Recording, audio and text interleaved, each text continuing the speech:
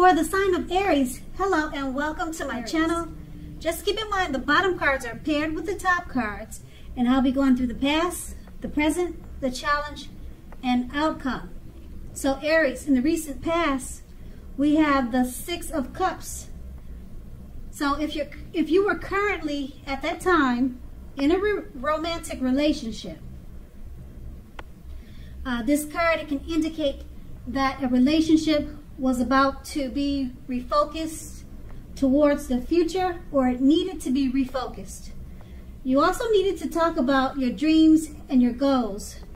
You also needed to try new things. It would have been important at that time not to stay stuck in the past. On occasions, this card can signify the reappearance of an old lover in your life.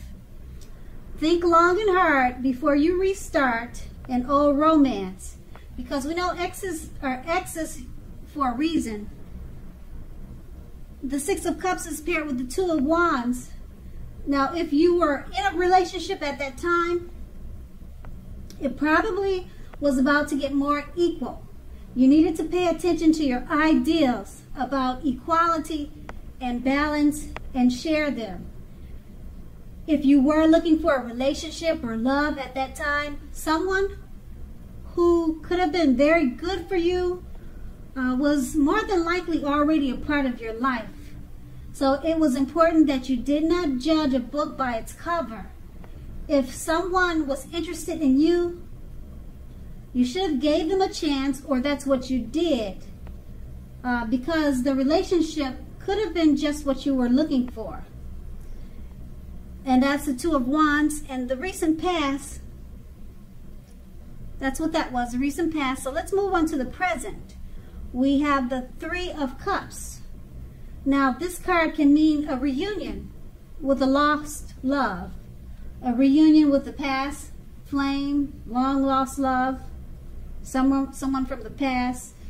Uh, it does not always indicate that you uh, need to look at the full reading to determine uh, if that's the case.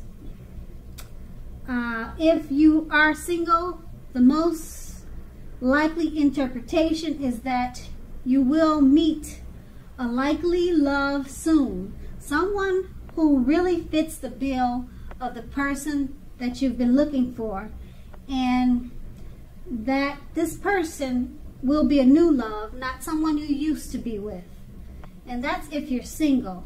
Now, if you're um,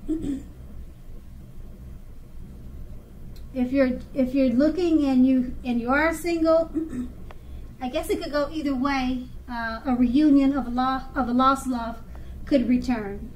So yeah, you could be single or with someone and they'll still return. Okay, so that's the Three of Cups, and it's paired with the Seven of Cups.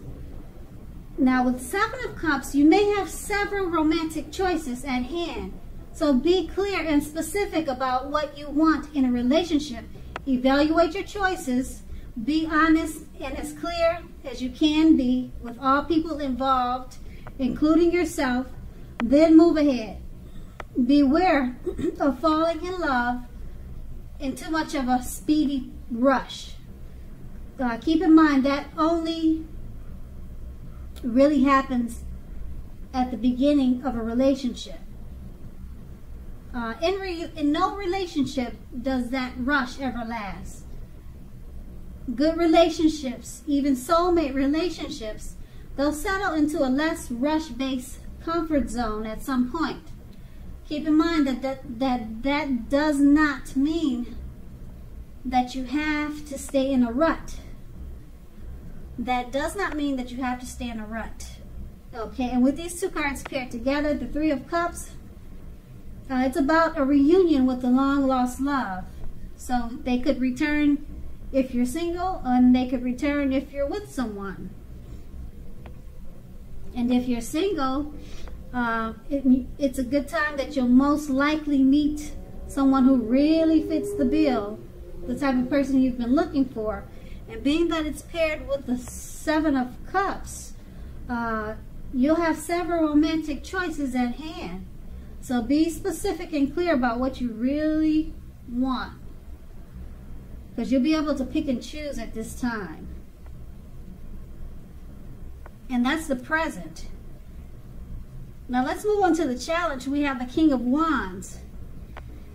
Now the King is a it's a very good card in the tarot. The King of Wands. It's an excellent card. Uh, it signals or it signifies that someone you care about also has protective and caring feelings about you.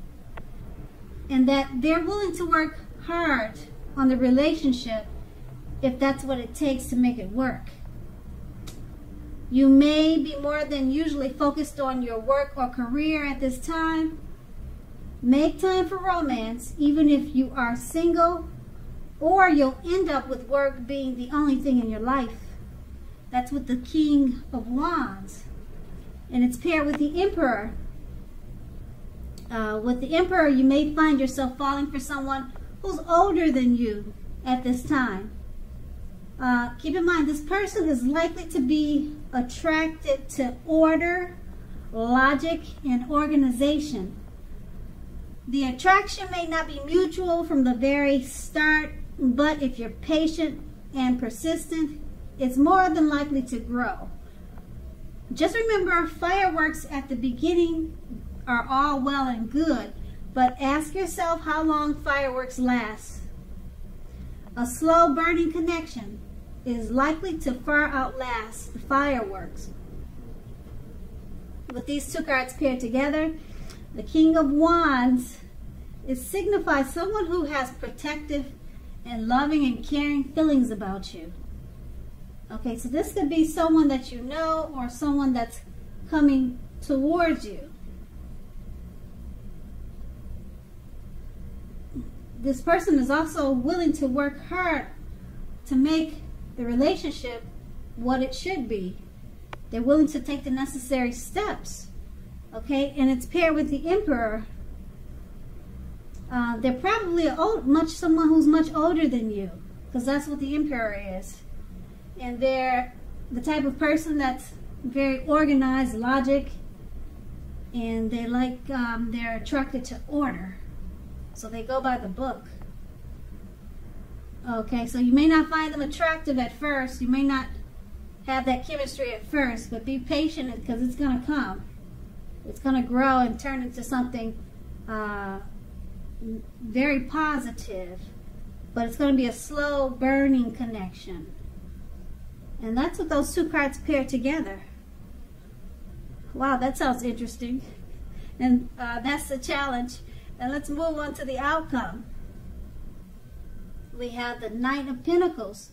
Now, with regards to love, this card can point to responsibility and duty that is a part of any relationship. Keep in mind, love is not all wine and roses. True love, it, excuse me, true love is a willingness to work together to get through any rough spots and to work on the relationship. If you are looking for a relationship at this time, it's a clear signal that you need to vary your routine and try new things if you want to meet someone. Your usual search, it leaves little to be desired. That, uh, that's the Knight of Pentacles and it's paired with the Ace of Swords. Now the Ace of Swords can mean that you're ready to start something new and if you're currently in a committed relationship, it can indicate that there's something about the relationship that you will choose to put a stop to. Don't hesitate to speak your mind. If something in the relationship is hurtful or bad for you, and you lose your partner because you said so, you haven't really lost. You're being guided toward a relationship that is better for you. So tell the truth at this time. And with these two cards paired together, the Knight of Pentacles it points to responsibility that's a part of any relationship.